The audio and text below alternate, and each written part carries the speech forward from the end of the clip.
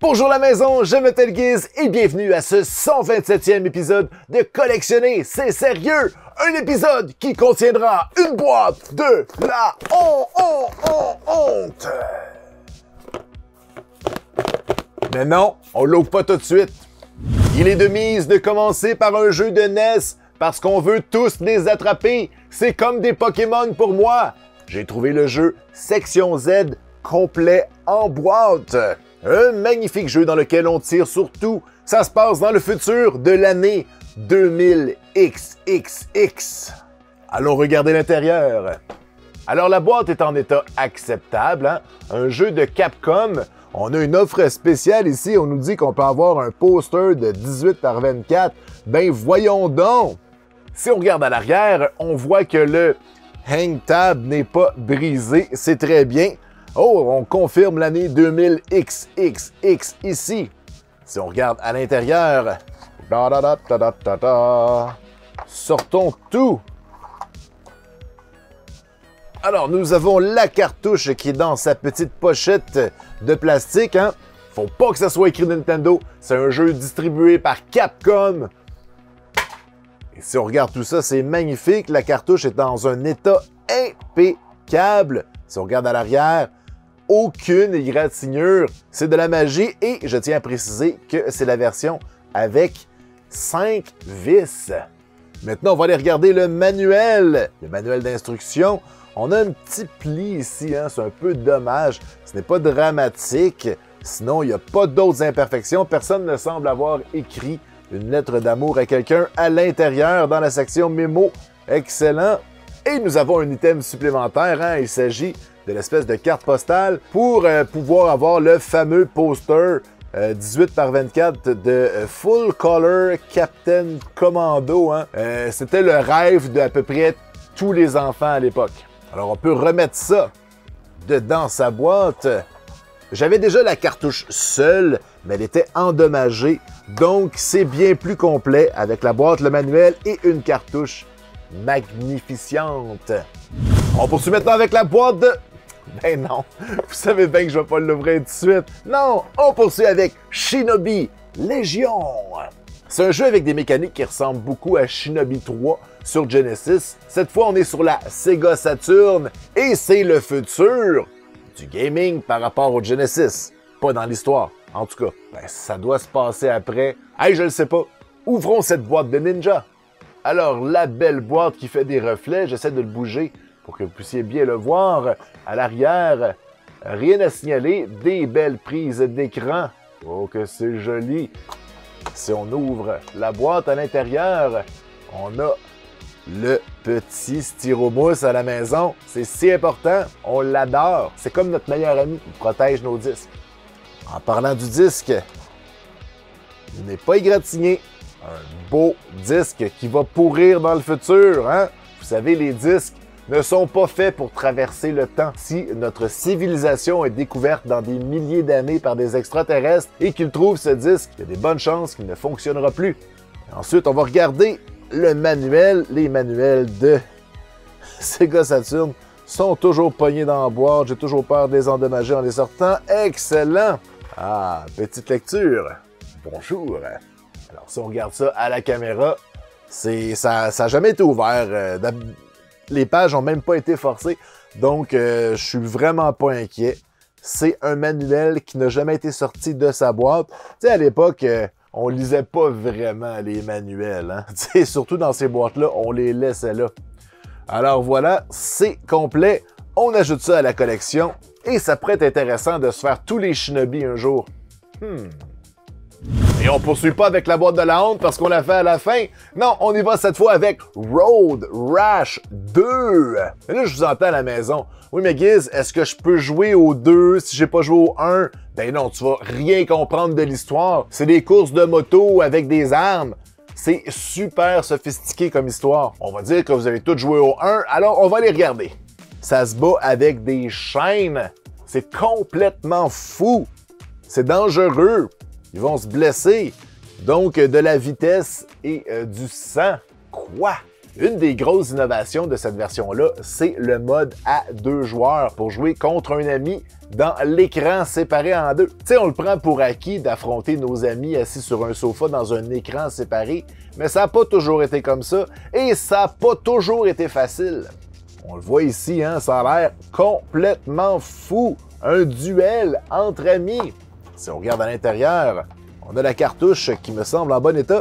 Les fameuses cartouches hein, d'Electronic Art qui, euh, on avait déjà parlé, ont réussi à reverse engineer, donc faire de l'ingénierie inversée pour recréer la cartouche pour ne pas avoir à payer des royautés sur la cartouche originale et dire que toute mon enfance, j'ai pensé que c'était parce que la cartouche prenait plus de mémoire pour ce type de jeu-là. C'est pour ça qu'elle était plus grosse. Mais non, et si on regarde le manuel, OK, lui, il a été, il a été sorti. D'après moi, hmm, peut-être ouvert si on regarde à la caméra.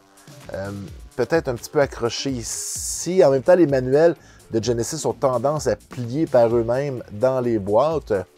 Sinon, ça n'a pas l'air trop endommagé. Mon Dieu, ils ont mis des photos. C'est des photos des programmeurs ou des personnages? OK, c'est des personnages. Tout va bien. Oh non! Ça, c'est non! Oh non! Qui c'est qui écrit des passwords à l'endroit que c'est écrit password? Vous allez me dire tout le monde? Mais ça, ça me fait de la peine. Oh! Alors, ben, coudon. C'est un item intéressant pour ma collection. Je pense pas être capable d'effacer. Euh, c'est vraiment du marqueur puissant. Il va falloir que j'essaie de retrouver le manuel dans un état plus vierge. Bon, cette fois, c'est vrai. On passe à la boîte de la honte et c'était une boîte de la honte spéciale. Elle venait dans un gros sac qui contenait un, jeu qui ne rentre pas dans la boîte de la honte, un jeu de Sega CD. Je l'ai ouvert en avance pour vous faire un petit teaser sur notre page Instagram du jeu C'est sérieux. Hein? J'avais ouvert la boîte pour que vous essayiez de voir ce qu'il y avait dedans sans vraiment rien voir. On va commencer par le jeu de Sega CD qui est en dessous. Ouvrons celui-ci. De quoi s'agit-il? Midnight Raiders. J'ai super jamais entendu parler de ça. Si on regarde à la caméra, des batailles euh, au sol et dans les airs, euh, ok. Euh, oh, all live video action, donc ça doit être un film en super basse qualité. Jouer un acteur dans un film en basse qualité de Sega CD, c'est le summum de l'acting. Ces gens-là avaient leur propre gala pour recevoir des prix. Un Grammy? Hein? Un Oscar? Un prix pour un jeu de Sega CD? Hey, on a la phrase You are expendable, comme dans la chanson. You're expendable, that's what you are. Si on regarde à l'intérieur, est-ce qu'il est en bon état au moins? Non, la boîte est cassée. Quelle surprise! Il manque un morceau ici, comme à peu près toutes les boîtes de Sega CD de l'époque. Il n'y a pas le petit morceau qui empêche le CD de se promener. Hein. Il a dû se promener pendant tout le voyage. Est-ce qu'il s'est endommagé? Hmm. Euh, il y a des petites scratches, ça a l'air viable. Il va falloir que je le teste. Reste là. Reste. Reste, CD. Si on regarde le manuel, alors, lecture. OK, il a pas l'air trop endommagé. Peut-être ici, petite scratch. C'est pas dramatique. Contenu. Take control, ouais, c'est ça. C'est faut le préciser parce que dans ces jeux-là, on joue pas beaucoup. Ah oui, lui. S'en souvient. Le gars avec la barbe.